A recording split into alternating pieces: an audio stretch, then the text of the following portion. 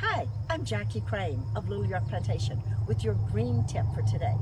We're going to talk about perennial hibiscus. This is a beautiful one. This is in our garden and it's been planted here about three years and it's just about in its maximum height. And you can see how large the flowers are. I mean, it, it's larger than my hand. So it's a really beautiful flower. The flowers last only a couple of days. And when they're gone, you see these little pods that are, and you can cut those off or you can leave them on. They're not unattractive at all, but if you'd like to cut them off, fine. You can see below, these are the ones that just fell off and you don't really even notice them.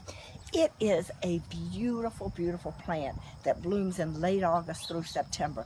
So make sure you put one of these in your garden. It is a showstopper.